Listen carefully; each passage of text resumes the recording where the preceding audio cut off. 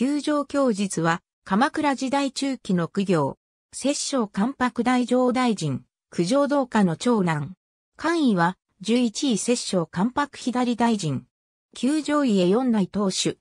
通称に、東院摂政、東院伝など。日記、東院摂政記の著者。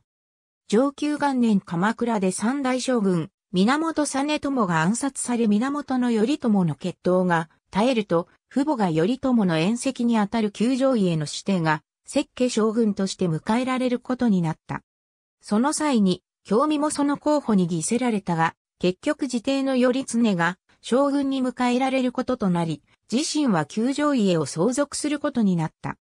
九条家はこの供実の代に分裂し、三帝の領味が二条家、四帝の実常が一条家のそれぞれ祖となったため、興味後の九条本家の系統を特に後九条家と呼ぶこともある。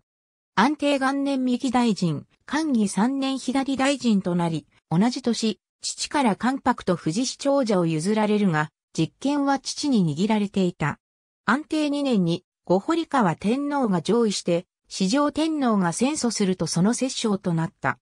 天福元年9月に、モヘキモリンが、翌年8月には、五堀川院が相次いで崩御すると、朝廷ではこれは、上級の乱の後大木島へ、援国入るとされ、高等から外れた、沖院の怨念のなせる号だと噂されるようになった。そこで、供述は、父の道やらと共に、上皇の気楽を幕府に図ったが失敗に終わった。それから間もなくの分略2年皇居した。日付は旧暦による。ありがとうございます。